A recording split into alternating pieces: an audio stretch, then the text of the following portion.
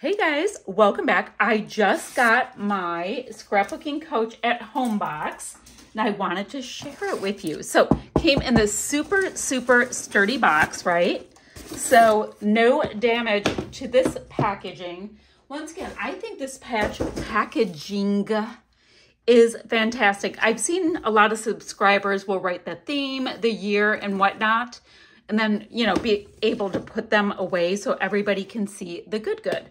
So you get this really nice bright white packaging. Once again, like I said, it has a nice little, look, it just closes. It's like magical closing box.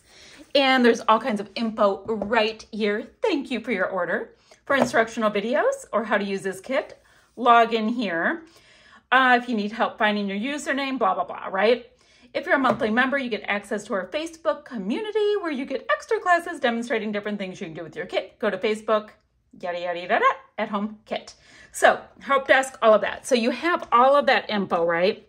Now what Anna does, the owner of the kit, um, is in the group where you log in, I'm sorry, at scrapbookingcoach.com where you log in, she does all of these videos of things she has done with her kit and she just goes off and like you see her use these kits for such a variety of topics. I'm like, you go girl. Like she just, yeah, she just gets right to it, gets her mixed media on. It's fabulous. Okay, so once again, I will save my little popping friends because I find it to be so great for mixed media.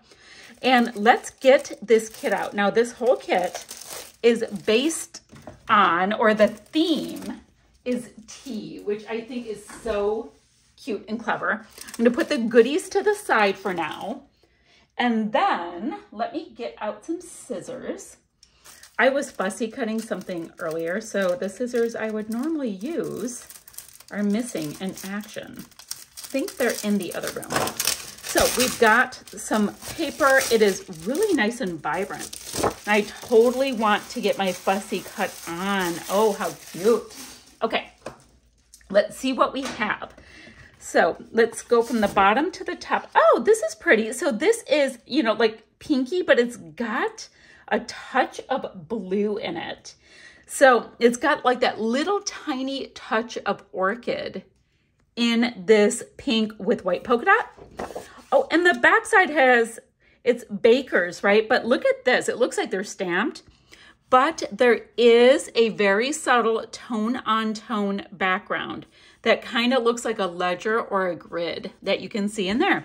Super cute. It's like this jolly baker holding up a fab cake.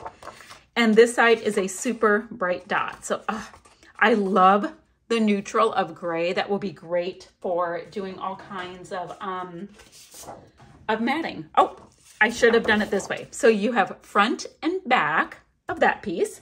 Awesome.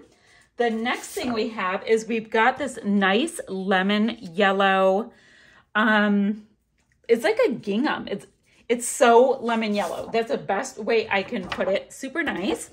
Oh, and then we've got this white with a teal or a um, aqua teapot. And those are great because they're kind of separate. So you can totally fussy cut them out for things. Super cute. Okay, next. So now we have got a gingham in this tone and it's definitely going more towards lilac, which is fun.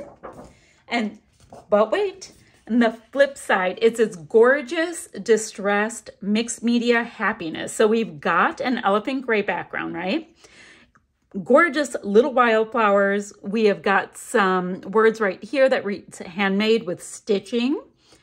We have got, oh look, Earl Grey. I drink Earl Grey. Cute.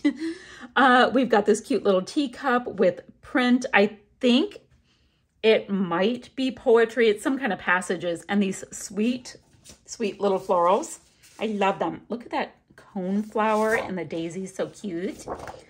Next, we have got all of these poems to do with tea. We've got the teacups, which are super cute, and then the teapots.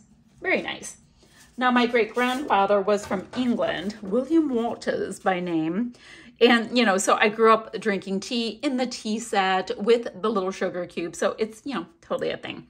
Now this side, we've got more of an apricot tone with some gorgeous florals. We've got the distressing and we still have the text. And we've got these diamond shapes that are making me get itchy to do fancy things with that. Next, we've got this, and this has all these squares in it. This would be a really fun paper to do different levels of layering with. I think that would be super fun. You can do single squares, you can do fours. I mean, you can really go off with that. And this teapot here, look at this. It's like one of those clear teapots with those balls that you put in and they open up. Gorgeous. That green one totally reminds me of um, the Grand Hotel in um, uh, Mackinac Island. Yes, it does. And then the flip side to that, oh, very pretty. So we've got this whole bluey orchid thing, gorgeous florals, all kinds of writing text bits. Very nice. And then the last two pieces, we have got this amazing piece that I want to cut up all of the gorgeous florals we have, I mean, guys, look at all of the different varieties. They are stunning. I mean, from these big guys, and mine never flower. I don't know why. I'm doing something wrong. Um, but yeah, they're gorgeous. This is a rose or a peonies. I have roses that look like that, and of course I have peonies. So absolutely gorgeous floral piece of paper. And then the flip side, we've just got the lines doing almost kind of chevrony, kind of doing like my eyes are going like this looking at it. So we have that. Now let's get into the goodies. We have got a gigantic stencil. I'm going to keep that bag. We've got this big old stencil. Is there any way I can show it to you? I have so much going on here. Look at that stencil, guys. So we've got a smaller one, and then we've got this really large one. So that'll be really fun when you're wanting to use a stencil on a 12 by 12 because you'll really be able to see it. So we have that. I've got some twine, it looks like, in a mulberry shade. Come on, little twine guy. I tend to like to get my little bin. Bear with me. Oh, it's nice twine. It's like, it's a little rugged. I'm going to get my, uh, one of my little bins that I put the stuff in that I'm working on. So a really nice mulberry shade of twine. Great. We have got some brads in a nice rosy gold tone. Two, three, four, five. So we've got some brads. That is clever. Oh, guys, look at the stamp set. I'm going to grab this again. So our stamp set, oh, so cute. This is like a tea bag. And then we've got this cute little tea bag and the piece goes up with a heart. There is a tea cup. The word details. The word fabulous We've got this gorgeous teapot here and then a little poem quote kind of thing. Super cute. Guys, this totally reads as a tag to me. So don't worry about it. If you don't want to pretend it's a tea bag, then just make it into a little tag and done. And it, this little bit around here totally looks like stitch marks. So that is super fun. And then Oh, but wait, so right here we have two like non-consumable things. So great for building out a mixed media library. Then the next thing we have, let me show you this. We've got these little tags in a mustard tone.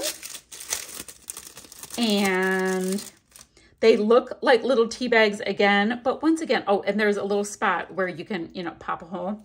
But guys, they're this gorgeous mustard that's gonna pop right off your page. They've got a tiny bit of a sheen, so that will really show.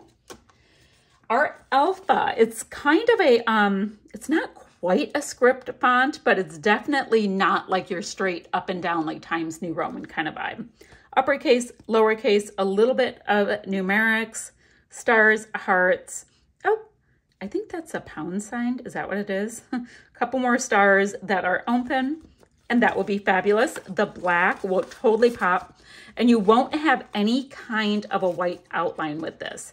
So if you want a white outline, then, you know, pop it onto something. Or just see how it's like totally black. Very cool. And then finally, and I think this is so fun, we have got rose gold gold leaf in here. There's a number of sheets in here. I don't want to totally take it out because stuff will go everywhere. But look at that delicate rosy gold leaf. And guys, eh, this sticks to any kind of adhesive, so I cannot wait to play with this. Like put it in the floral centers, all of that. And let's see, while I design this month again, I'm gonna have my sketchbook sketches volume two with me. There's 525 sketches. They are fabulous. So you just pick it up, you're like, yep, that's what I'm gonna do. And you're done. So I'm gonna have links down below where you can get your hands on this kit. Um, mine will be affiliate links. So for the for the kits guys, you know, get a subscription. For the sketchbook, all that, I will have the links down below. Now, the affiliate links, you don't have to use them, but it just helps to support my channel a little bit because I pop a lot of content on here. So, phew, I'm going to get going with all of the things, my friends. I want to start playing with this stuff. I'll have a couple of layouts up before you know it. And guys, I'll see you guys ever so soon with another video. Bye for now, friends.